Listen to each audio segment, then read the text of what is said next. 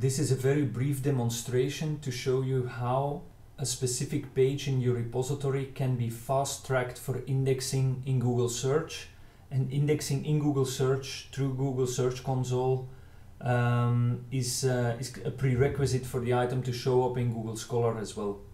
So let's say I have a page in a repository like this, uh, like for example an author profile page, and I'm not sure what its indexing status is. Then the first thing I can do is I can throw the URL here in this um, in the URL bar, where uh, Google Search Console will give us a status on this specific page. So currently it, it really confirms you to say the URL is not on Google, so the page is not indexed. If it's not on Google, it will also very, very likely not be on Google Scholar. And instead of just waiting for Google Scholar to crawl your sitemap or to index it in, in another way, you can, uh, you can click this link to say request indexing.